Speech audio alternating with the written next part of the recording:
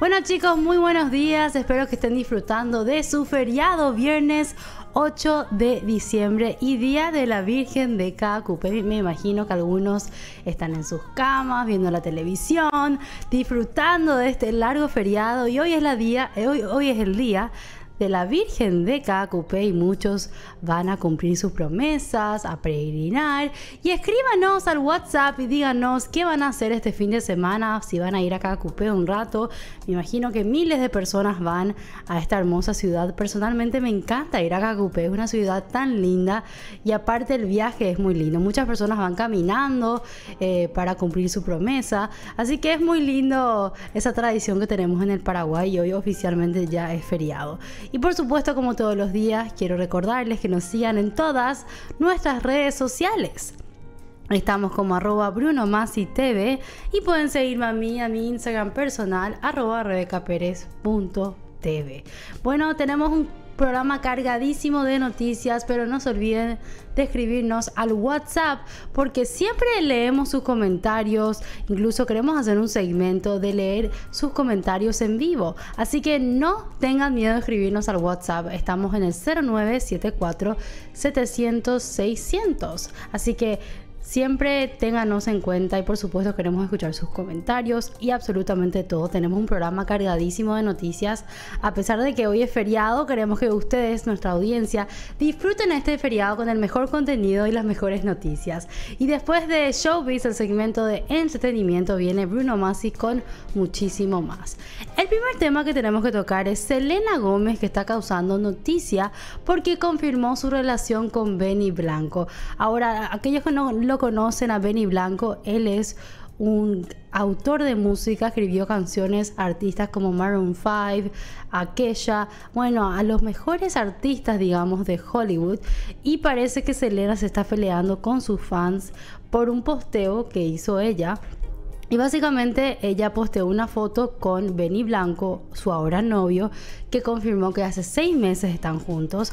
Y una cuenta de fan de Selena de Brasil posteó esta foto y muchos de los fans estaban comentando de que Selena puede hacer mucho mejor, que nada que ver este, digamos, candidato para ella. Básicamente la estaban criticando diciendo que se estaba conformando por él. miremos su foto. No me quiero burlar, pero estoy un poco de acuerdo. Creo que, que Selena Gómez puede hacer mucho mejor. Y Selena defendió a su hombre así como tal. Eh, se peleó con todos sus fanáticos en los comentarios diciendo que nadie nunca la trató tan bien y que hace seis meses están juntos. Y diciendo que si son sus fans le van a apoyar a ella y porque ella está feliz y hace desde los 15 años está haciendo terapia y él le hace muy bien a ella. Así que él básicamente le hace muy feliz y se peleó con todos sus fans en los comentarios. O sea, muchas personas pensaron que la cuenta de Selena fue hackeada. Porque es raro que ella empiece a comentar tanto en una cuenta que ni siquiera es de ella. Es una cuenta de, una fan de Brasil que la, que la creó, ¿verdad? Que ella hacía esta cuenta. Y es extraño que se esté peleando con sus fans. Lo que sí anunció que en dos meses va a estar lanzando nueva música. Esperemos una colaboración con Benny Blanco, ¿verdad? Porque sí, creo que cuando hizo la colaboración con J Balvin, él escribió la canción. O sea que escribe muchísimas canciones Benny Blanco, a pesar de que no es tan conocido públicamente, detrás de escena es muy conocido y muchos artistas quieren trabajar con él. Así que la nueva pareja Selena Gómez y Benny Blanco, ¿no? Benny Benito de Bad Bunny, ¿eh? A pesar de que creo que me gusta más la pareja de Selena Gómez y Bad Bunny. Es medio muy feo para Selena Gómez, honestamente. Bueno, cambiando de tema, Taylor Swift es elegida como persona del año según la revista Time. Esta es una importante selección que hace esta importante eh, publicación. Cada año elige a la persona más importante y definitivamente este fue el año de Taylor Swift y creo que no hay solo un día que Taylor Swift no sea noticia. Todas las, eh, todos los días Taylor Swift eh, rompe el internet con alguna novedad.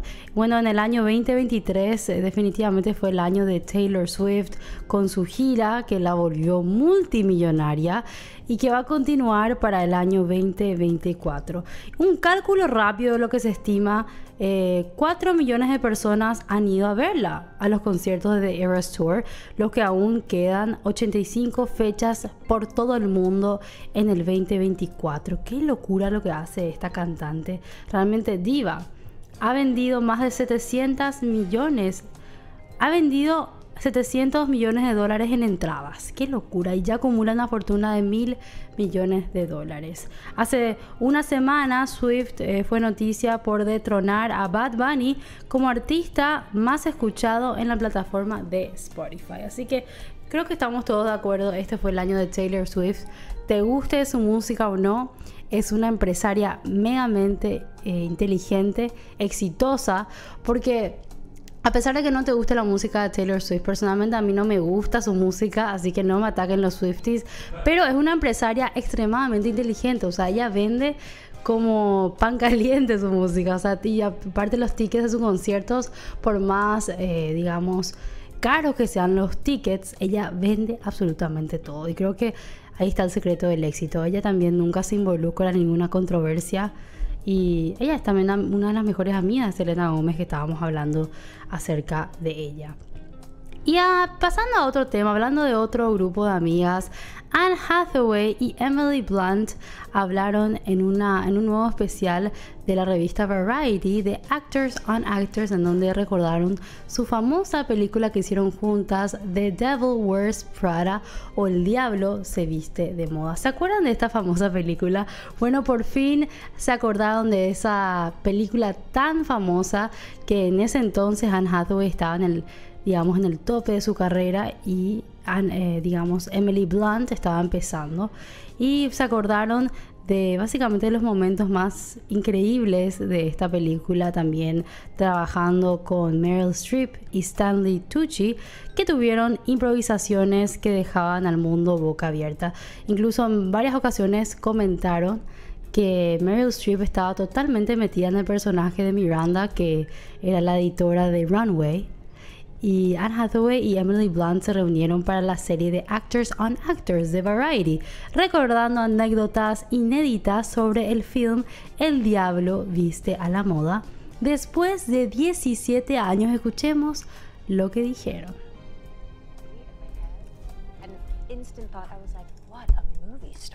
What? First thought, like there was like you were like shedding stardust. It was crazy. Are you getting this? and I just remember um, thinking to myself, Emily Blunt is going to be the biggest deal.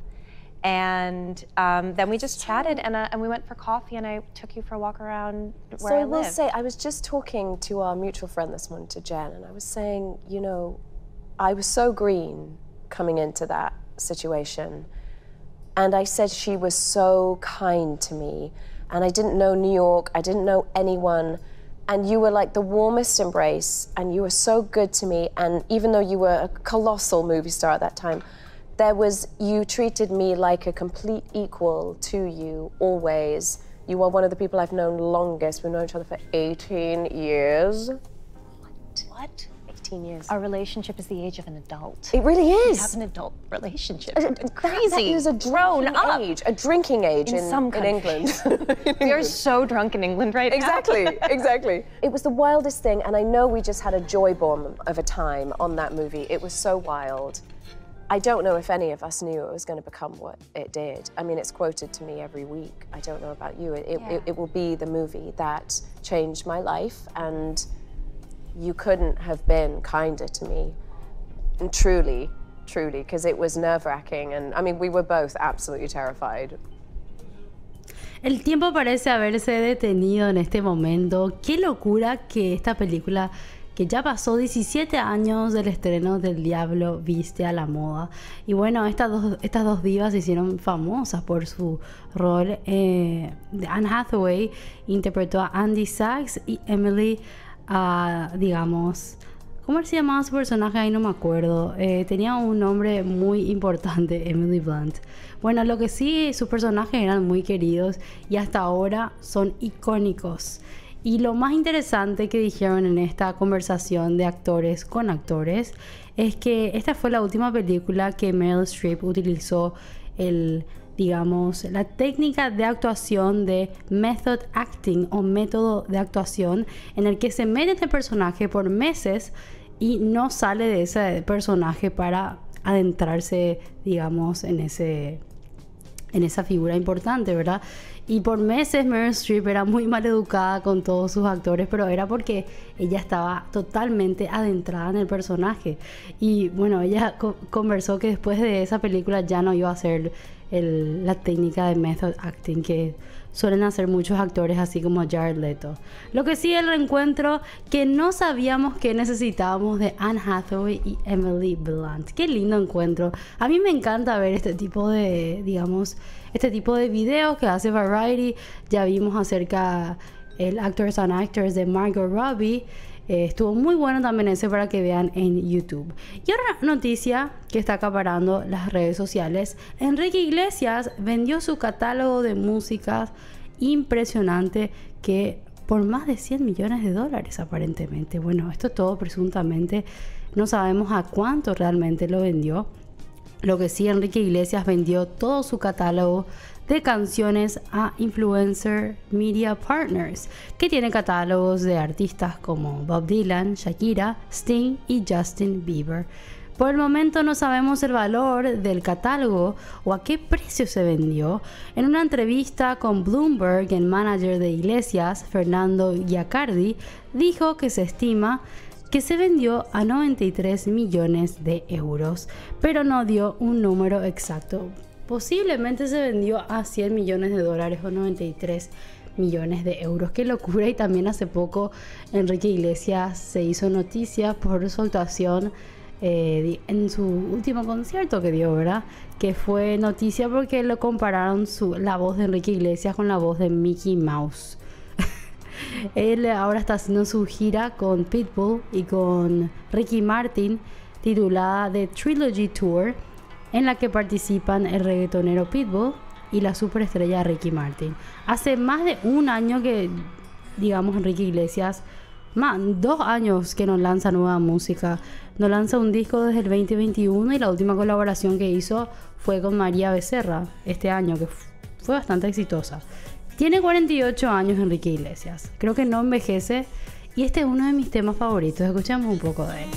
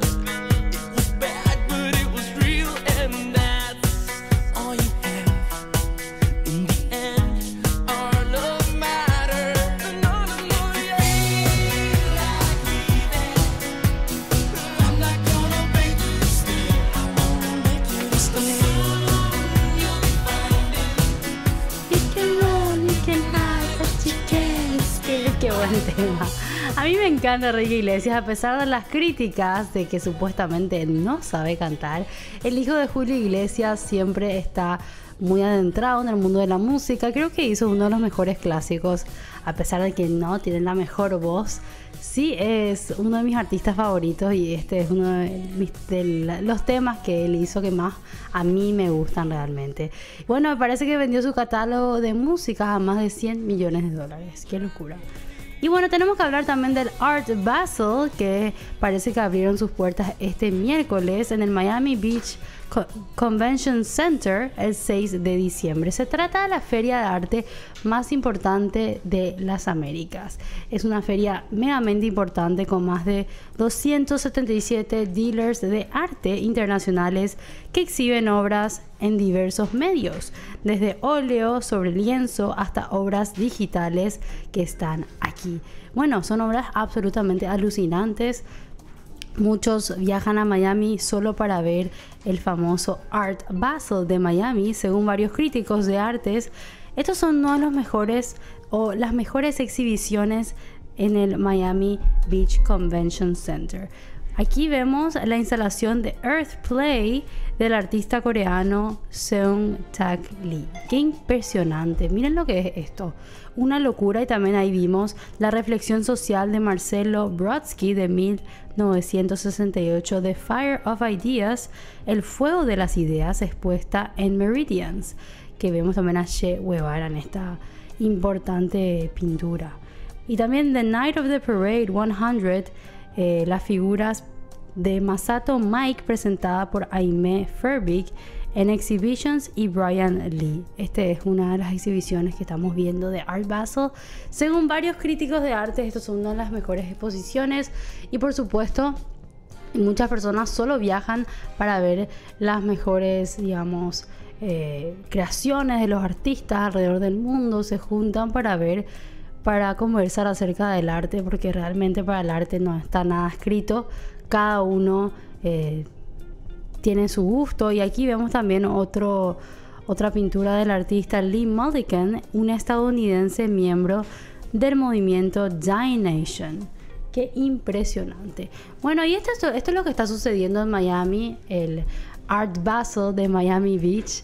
Así que creo que continúa hasta diciembre o a mediados de diciembre esta exposición importante de arte. Bueno, también Nicki Minaj lanzó nueva música, Pink Friday 2. Y escuchemos un poco de su nueva música y ya me despido de ustedes y nos encontramos nuevamente el lunes. Pero no se vayan a ningún lado que ya llega Bruno Masi con muchísimo más.